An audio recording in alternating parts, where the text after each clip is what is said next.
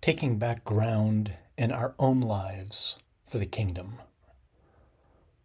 This past Saturday, the church set before us in the scriptures the oh so familiar and yet ever new gospel that is the parable of the prodigal son.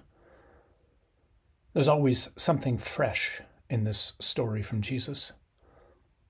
Of course, it's not really about the son who squandered his father's inheritance or the son who was bitter over his return. It's about the father who Jesus is revealing in his ministry of forgiveness. For me, these lines especially stood out in prayer.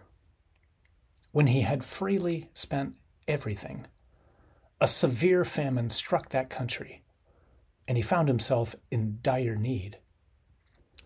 So he hired himself out to one of the local citizens who sent him to his farm to tend the swine. This is about as low as a person can fall. A Jewish son, heir to his father's significant wealth, runs out of that wealth and then hires himself out, sells himself to another to feed pigs. Pigs! A Jewish man enslaves himself to feed an unclean animal that he himself cannot eat. This is a truly pathetic state. And this is what sin is. Sin is giving ourselves over to something, someone who not only cannot satisfy us, but who is literally hell bent on degrading and enslaving us. We speak often in Acts 29 about our mission as disciples convinced that it's not enough for us to be overwhelmed by the gospel or surrender ourselves to Jesus in faith, crucial as these both are.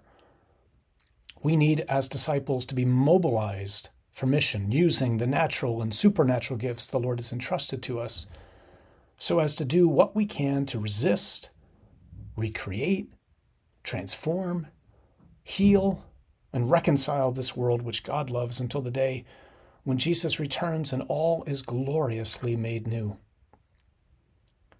I recently came across a quote, however, that has been most helpful for connecting this missionary dimension of our life with the serious pursuit of holiness.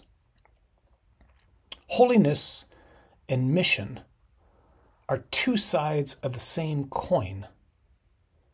Both involve bringing the reign of Jesus to bear in places where up to now the powers have held sway. That's what N.T. Wright says in his book, The Day the Revolution Began.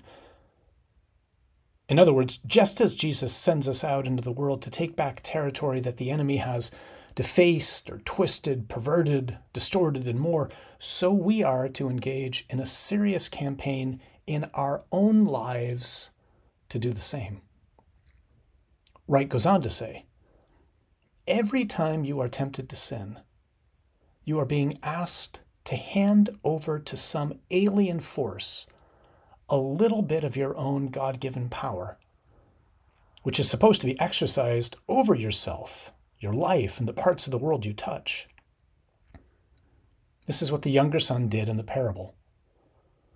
This is what we do whenever we sin.